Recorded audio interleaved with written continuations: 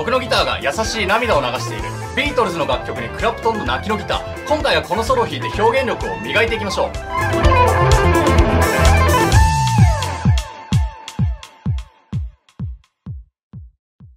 皆様こんにちは。ギター講師の豊川優也です。2週連続ビートルズウィークの第2弾でございます。今回は泣きのギターの代名詞として知られるホワイルマイギタージェントルビープスをやります。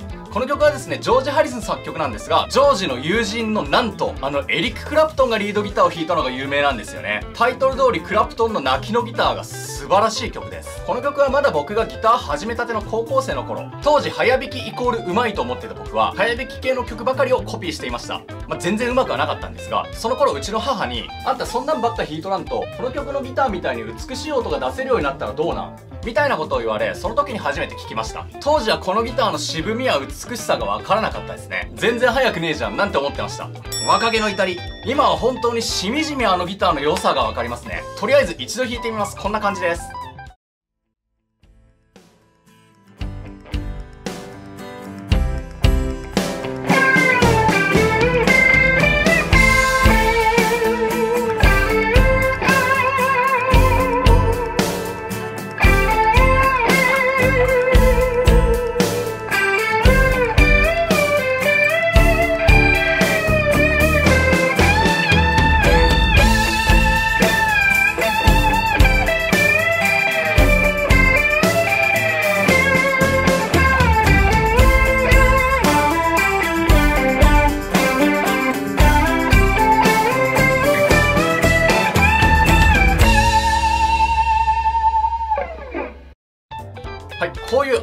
漂うギターですね。すすり泣くようなチョーキングビブラートが大変特徴的です。このソロはあまりテンポが速くないので、まだ指が速く動かないという方も比較的挑戦しやすいです。チョーキングのコントロールの練習には最適ですので、初級者の方もぜひ挑戦してみてください。中級者以上の方はギターの表現力を上げるための曲として、これ以上ない練習曲。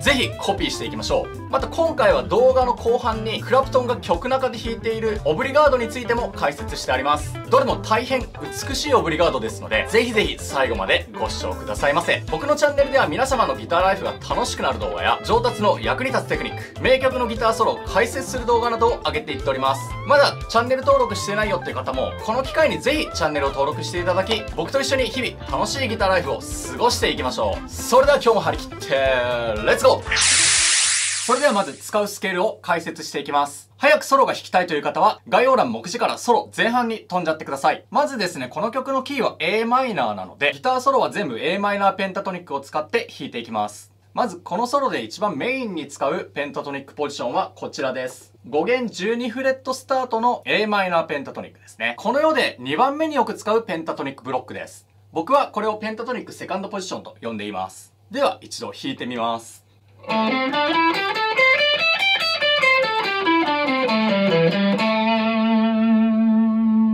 これがこの曲で一番よく使うポジション。もう一つですね、ソロの一番最後に使うポジションを説明します。5弦17フレットスタートのペンタトニックです。これはですね、a マイナーペンタトニックメインポジションの、こ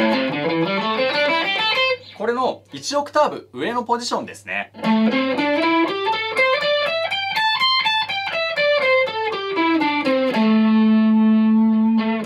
まずはソロを弾く前の準備運動として、この2つのペンタトニックポジションを弾く練習をしてみてください。ソロを弾くときにこのブロックを頭に思い浮かべながら弾くことで、フレーズの理解がより深まります。そしてさらにですね、こちらのペンタトニックの3弦14フレットの音。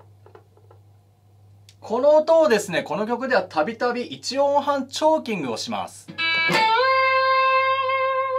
14フレットの音を17フレットの音になるようにチョーキング。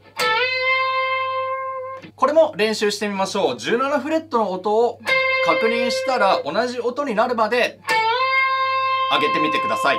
慣れてきたらビビラートをかける練習もしましょう。この時に細かく素早い波を意識して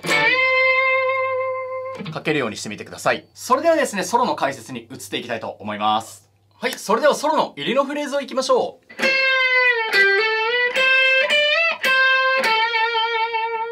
こういうフレーズですね。はい。まず4拍目からスタートするので、入りはですね、1、2、3、パー、という風に入りましょう。入りからいきなり1音半チョーキングですね。14フレットの音が17フレット。ここの音になるように上げます。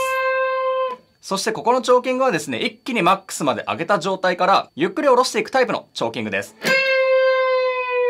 素早く上げないといけないので、難易度は若干高めですね。まずは普通に、チョーキングの練習をして、左手の力加減を掴んだら、一気に上げて、こう、下ろすタイプにしていってみましょう。下ろしたら、こう弾きます。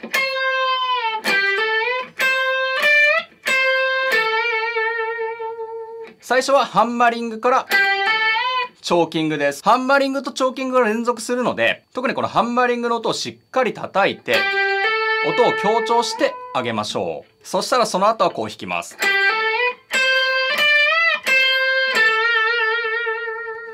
最後はしっかりとビブラートをかけていきましょう。ちなみにコーラスを強めにかけて弾いています。もしコーラスのペダルを持っていたら若干強めにかけると原曲の雰囲気が出やすいです。ここまでもう一度弾いています。1、2、3。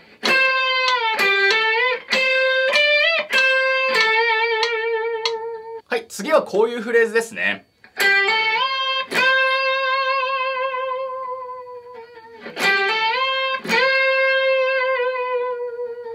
まさにここが泣きのギターといったサウンドですね。この曲一番のエモポイントです。まずはハンマリングから1音半チョーキングにつなぐフレーズ。そしてもう一度上げ直す時にピッキング。こういう感じです。で、2回目チョーキング上げた時にビビラートをしながらゆっくり下ろしていくんですよ。こういう感じですね。これによってギターが悲しみの涙を流してるように聞こえてきますね。このテクニックをこの曲のソロで使うクラプトンのアイデアの凄さですよ。噛みすぎ。マックスまで上げたら、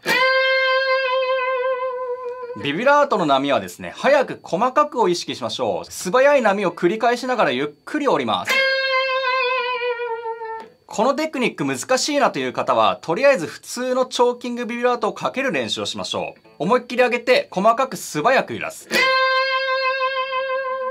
こういう大きい波ではないです。細かい波をイメージ。まずはこれをきれいにかけるように練習して、その後泣きのビビラートを練習してみてください。それでは次いきます。こういうフレーズです。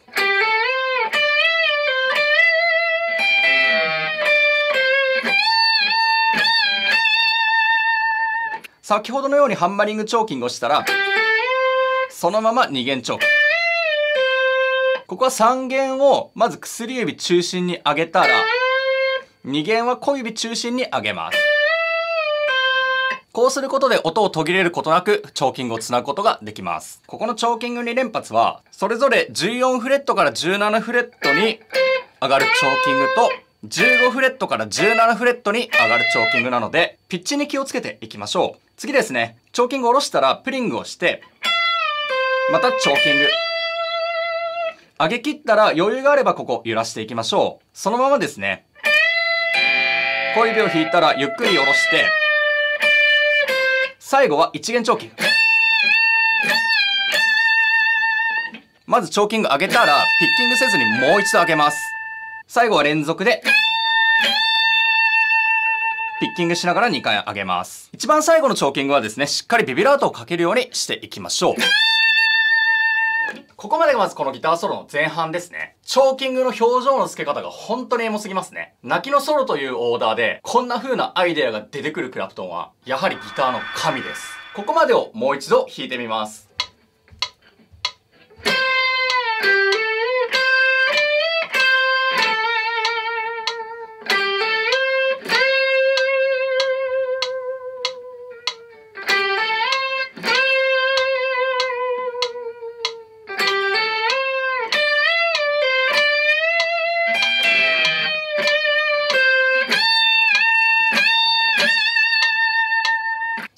後半いきます。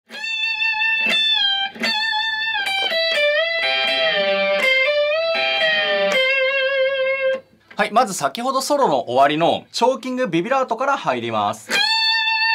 何度も言いますが、細かい揺れを意識してビビラートをかけましょう。チョーキングビビラートから入ったら、下ろして、また上げる。ここも短い音ですが、ビビラートをかけます。そしたら下ろしてこう弾きます。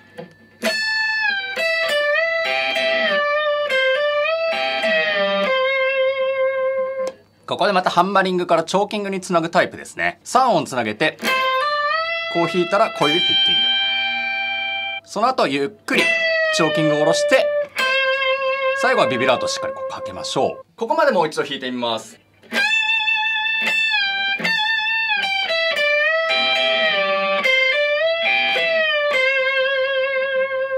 次はその最後の部分ですね。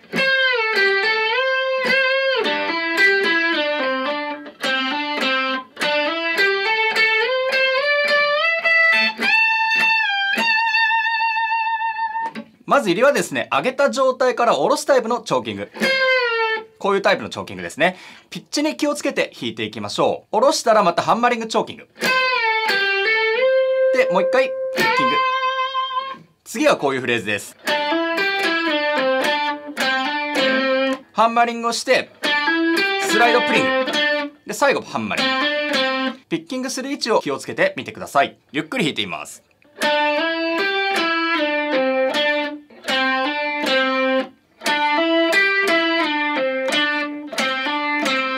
次はソロ終わりの上昇フレーズですね。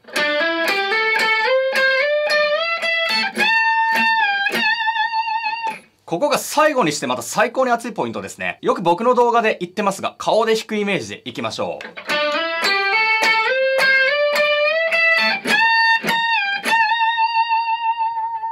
まずスライドからスタートして、ハンマーリング。で、スライド、スライド。ここは全部音符が8分音符なんですが、ピッキングは四分音符で行い、8分音符裏の音は左手で音を鳴らしていく弾き方です。なので、左手のリズムキープしっかり気をつけていきましょう。こうならないように注意です。こうではなくて8分音符できっちりと、こういう風になるように意識して弾きましょう。そして最後はですね、ここのスライドから a マイナーペンタトニックのハイポジションのブロックに入っています。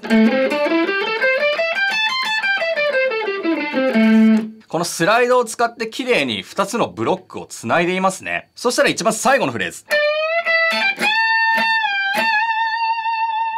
ここはですね、上昇フレーズで溜まったエネルギーを最後爆発させるような、一気に放出するような気持ちで力強く弾きましょう。チョーキングからこう弾いたら、ノーマルなチョーキング。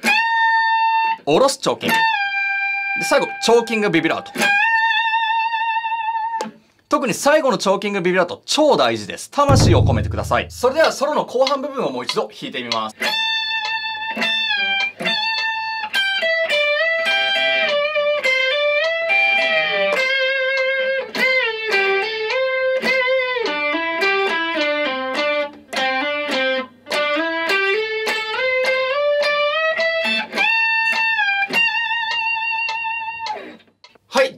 このソロを通しで株付きで弾いてみますので、今日やった細かいニュアンスに注意をしながらご視聴くださいませ。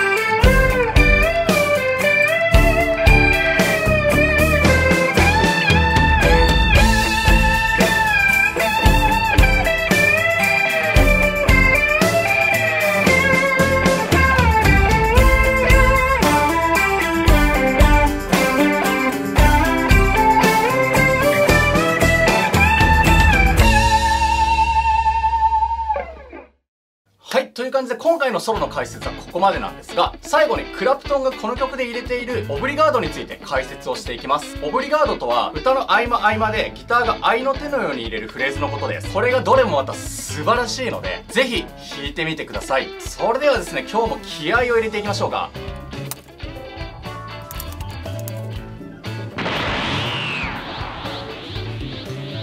いきますそれではまず1番 A のオブリから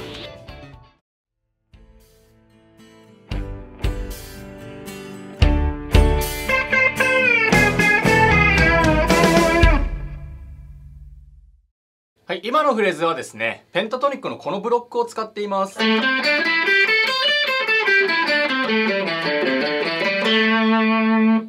弦2弦3弦のみをよく使うブロックです。まず2弦10フレット1音半チョーキングをするんですが、ここはあらかじめ上げておくタイプのものですね。先ほどの3弦10フレットの時と力加減が多少違うので注意が必要です。先ほどよりちょい強めに上げます。13フレットの音になるように上げる。この力加減を覚えたらあらかじめ上げておいて弾いてから下ろす。ここはですね、右手のピックストップを使って音を短く切りましょう。僕はアップピッキングで弾くことで、親指の側面を弦に当てることで素早く音を切っています。こういうやり方ですね。次はこういう動き。まず G シャープの音が出てきますね。これスケール外の音なんですが、ここはですね、バックが E7 が鳴ってます。この E7 のコードのメジャーサードである G シャープを入れることで E7 のコード感を強く出しています。これ非常に多い音使いですね。ここも音は短めに切っていきましょう。そして最後、ここの音使いが大変秀逸ですね。まずこの音、ブルーノートの音であるフラット5。これはですね、経過音として使うことで、フレーズに渋みを出す音です。これをですね、チョーキングの元音として使ってるんですよね。こんな使い方もあったんかーいってコピーしてみて目から鱗でした。ではここもう一度弾いてみます。次はですね、A セクションから B セクションに移る時のオブリガードいきます。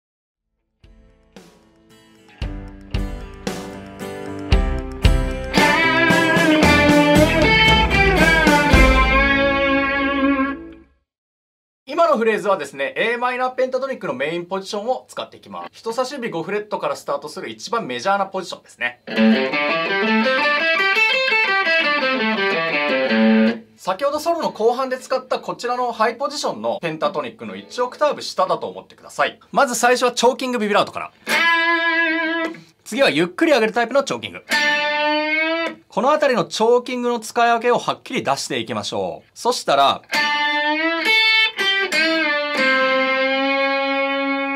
最後はですね、5フレットの音をゆっくりハウチョーキング。隣の6フレットの音まで押し上げていきます。これはですね、B セクションに行ったところのコードが A のメジャーに変わるんですよね。ここでマイナーからメジャーに転調をしています。なので、マイナーサードの音をメジャーサードの音に押し上げることで、フレーズを転調させています。転調のコード A メジャーが入り、B セクションが始まった少し後でですね、時間差でクラプトンのギターも少し遅れて転調という、なんとも憎いテクニックですね。ここ、もう一度弾いてみます。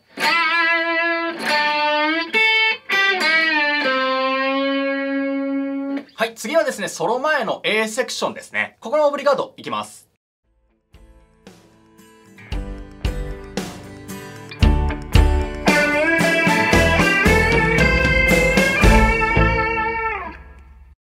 ここはですね、またペンタトニックのメインポジションを使っていきます。まずゆっくりチョーキングを入れたら、こう弾いて、スライド。スライドでこの隣のブロックに移ってますね。このブロックですね。こういう風にメインポジションからスライドで動くというこの動き、定番で便利なのでぜひ覚えましょう。そしてスライドで移ったら、クォーターチョーキング。ゆっくりとしたクォーターチョーキングですね。クォーターチョーキングはですね、8フレットの次のこの9フレットの音まで上がりきらないタイプのチョーキングなんですよね。このチョーキングをゆっくり行うことで、こう、じらしたけども到着しないという、なんとも言えない哀愁的なサウンドになります。大変ブルースですね。ここもう一度弾いてみます。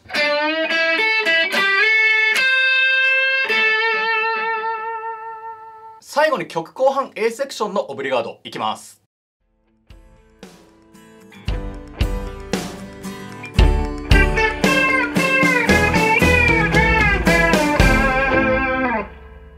また始まりはこのブロックからですね。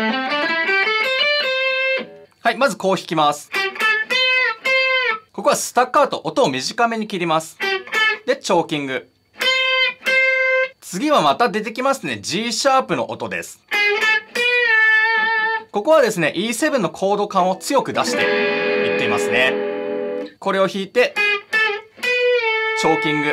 最後はペンタトニックのメインポジションに移動して、2弦からですね、チョーキングのアップダウンを連続して、5フレットビビラート。ここのチョーキングはですね、両方とも上げ切った状態から下ろすタイプのチョーキングです。なので、ここピッチにしっかり気をつけて弾いていきましょう。ここの部分はですね、シンプルに見えて結構トリッキーなフレーズです。それぞれのニュアンスに注意をして丁寧に弾いてみてください。もう一度ここの部分弾いてみます。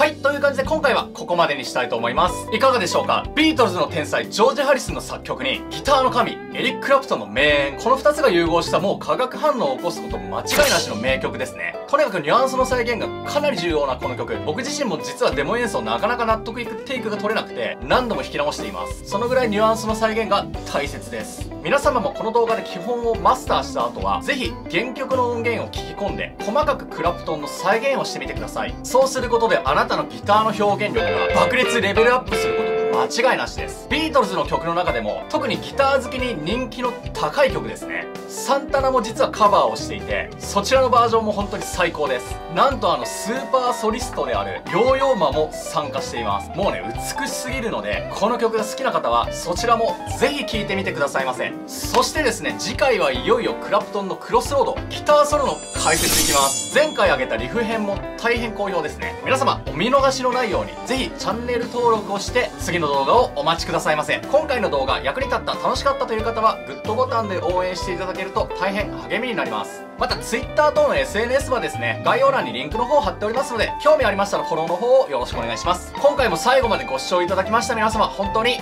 ありがとうございます。